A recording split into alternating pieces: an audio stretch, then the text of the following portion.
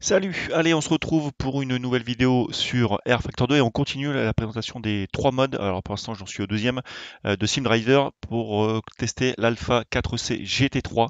Alors on va tester ça sur un circuit italien, mais je vais pas faire comme d'habitude, euh, Monza, Imola, Mugello, enfin bref. Je vais vous prendre Vallelunga, c'est un petit circuit qui à la base je crois, attention je dis peut-être pas de bêtises, mais un circuit moto, donc il n'est pas forcément optimisé, c'est un mode, c'est pas le c'est pas un officiel, donc forcément, au niveau des textures, ça peut être un petit peu particulier. Il est, je trouve, bien fait. Il est gratuit, mais voilà, je préfère vous le dire. Au niveau optimisation, je l'ai ressenti un petit peu dans le casque. Euh, mode voiture, mode circuit, d'ailleurs, j'en parle, je pense, pendant mon, mon commentaire. C'est pas ce qui se fait de mieux. Non, voilà, je voulais vous faire découvrir aussi autre chose que ce qui se fait habituellement. Donc, on part pour 7 tours, comme j'ai fait sur la précédente vidéo. Et puis, euh, bah, vous allez voir ce que ça donne. Comme d'habitude, le petit montage qui va bien. N'hésitez pas à me dire encore une fois, pour interagir ensemble dans les commentaires si vous l'avez testé, ce que vous en pensez. Et puis, euh, voilà, on se dit à une prochaine vidéo. Bonne journée à tous. Allez, on se retrouve donc sur le jeu. On va aller voir ici. Donc au niveau du circuit Vallelunga, il y a plusieurs layouts. Alors on va prendre ici l'extended racing. Vous voyez, il y a le parc classique club et l'extended. Voilà, on va prendre ça. Et au niveau de la voiture, donc c'est Alfa Romeo 4C avec énormément de skins également. on va voir ce qu'elle donne dans le showroom. Encore une fois, c'est très propre, il n'y a pas de problème. Elle est vraiment bien faite. Belle petite bouille. Et on va voir tout de suite ce que ça donne en piste. Allez, c'est parti.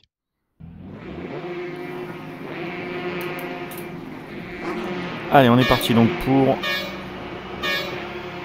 7 tours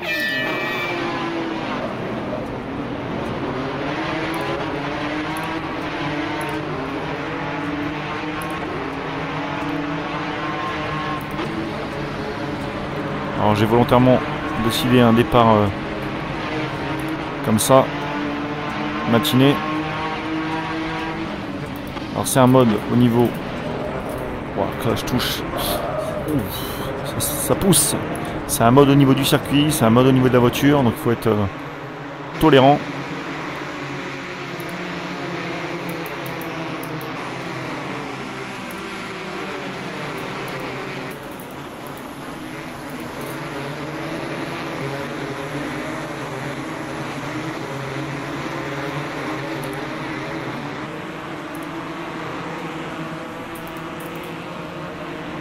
De roue ici.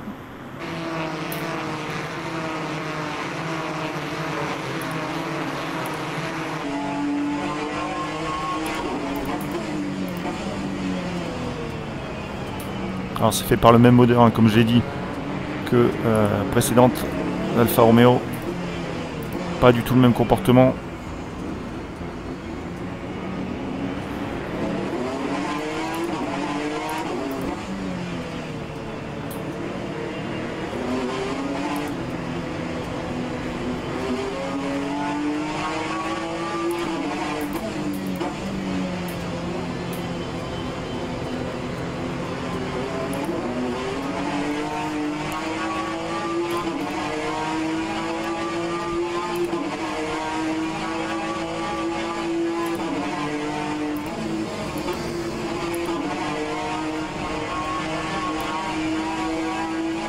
Il s'est mis dans le tas.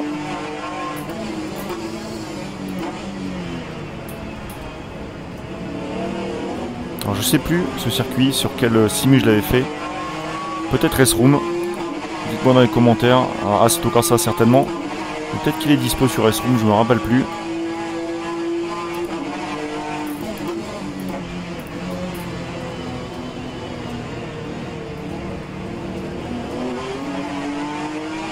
Il est intéressant, franchement.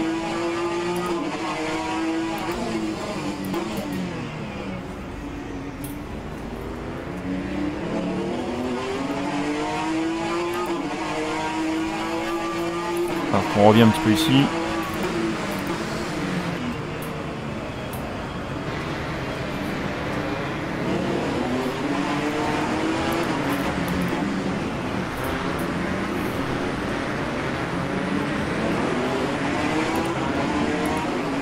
Voyez, protège, hein, pour ceux qui sont encore un petit peu étonnés. Voilà, je l'ai bien pris ici. On va faire gaffe à la sortie.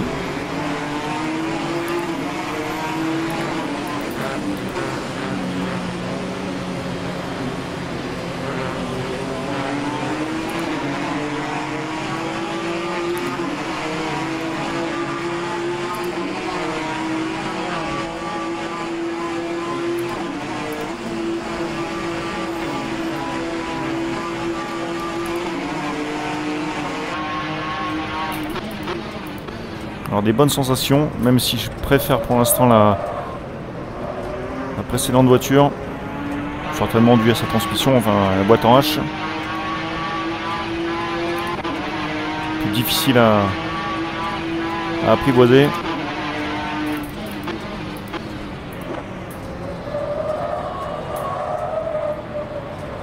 Alors là c'est une GT3 mais c'est vrai que c'est pas évident. J'aurais voulu tester avec d'autres véhicules de la même catégorie.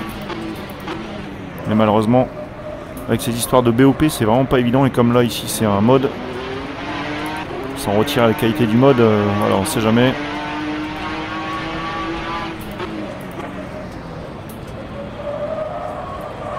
Là, je ne cache pas qu'avec les mêmes paramètres, vous le voyez pas, mais en VR, c'est un petit peu plus compliqué. À la nuit, les éclairages, peut-être le mode et circuits mal optimisés. Voilà, c'est aussi ça l'intérêt d'avoir le contenu officiel. Euh, RF2, c'est de pallier à tous ces problèmes d'optimisation. Parce que là, c'est un vieux circuit qui n'a pas été forcément mis à jour. Alors peut-être que ça vous posera pas de problème sur écran. En tout cas, en VR, ça bouffe un peu plus de ressources. Allez, on, on la récupère ici. Dixième. Ouais, c'est passe à fond.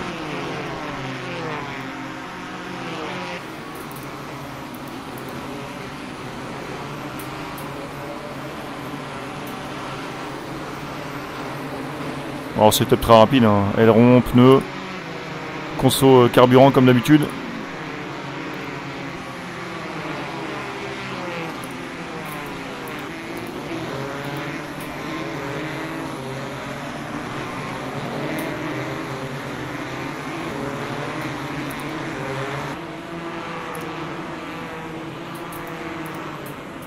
Ouh là, il va me faire surprendre.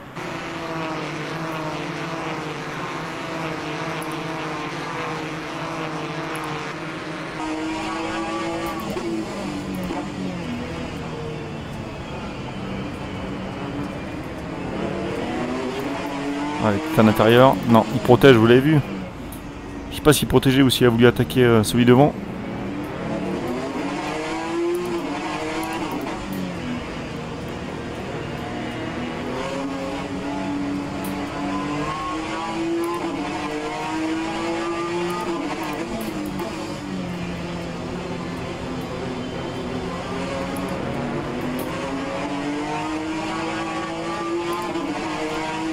On est bien sorti.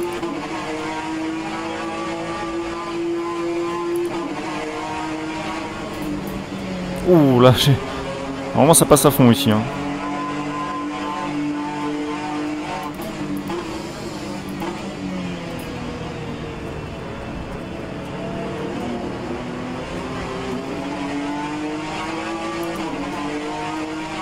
Alors derrière ça revient.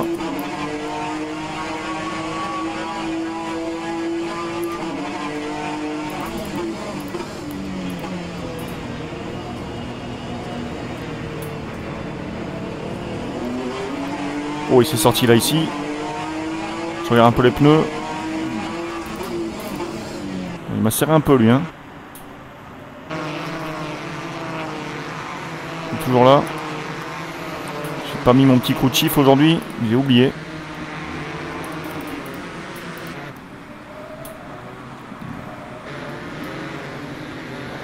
C'est pas bien.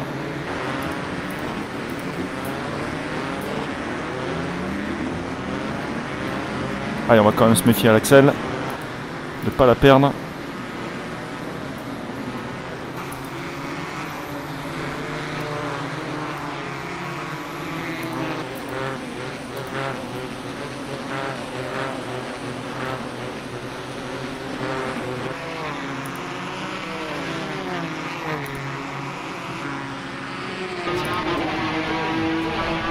Alors j'ai regardé plusieurs tutos parce que j'ai encore des petits soucis de FFB avec donc le DD1 de Fanatec sur euh, de l'oscillation de volant au, à l'arrêt. Dites-moi si vous avez réussi à modifier ça.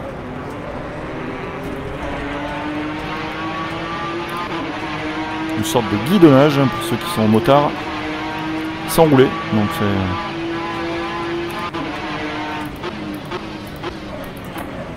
on sent quand même, même si c'est pas laser scanné ici, on sent quand même le dénivelé, les bosses. De toute façon, faut pas se leurrer. Quand RF2 nous propose tout en, officiel, il va falloir et du temps et du cash, hein, parce que franchement.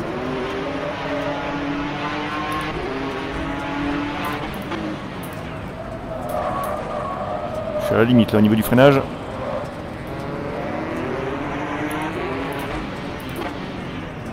Va essayer d'y aller. ça touche un peu.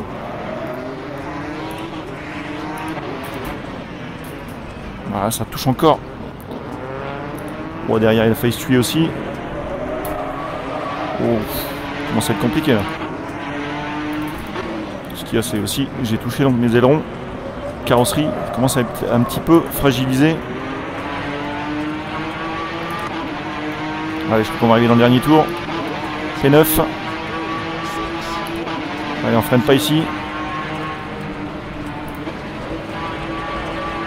J'ai tout soulagé, hein, comme je sais pas lui ce qu'il va faire.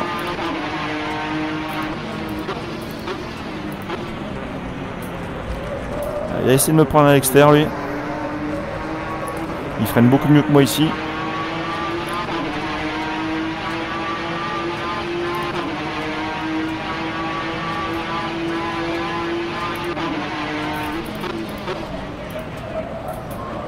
J'ai essayé de freiner plus tard, mais il est là.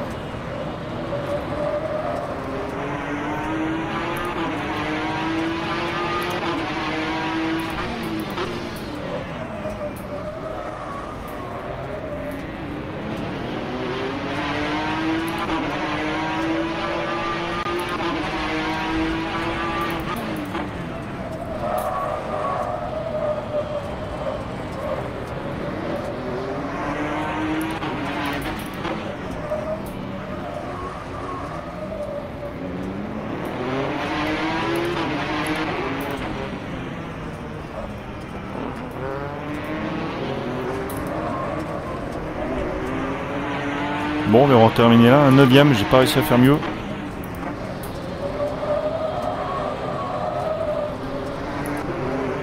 Ah, moins qu'ici, oui. Ouais, je crois que je suis passé huitième.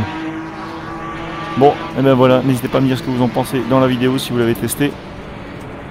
Et puis on se dit à une prochaine bonne journée. Tchuss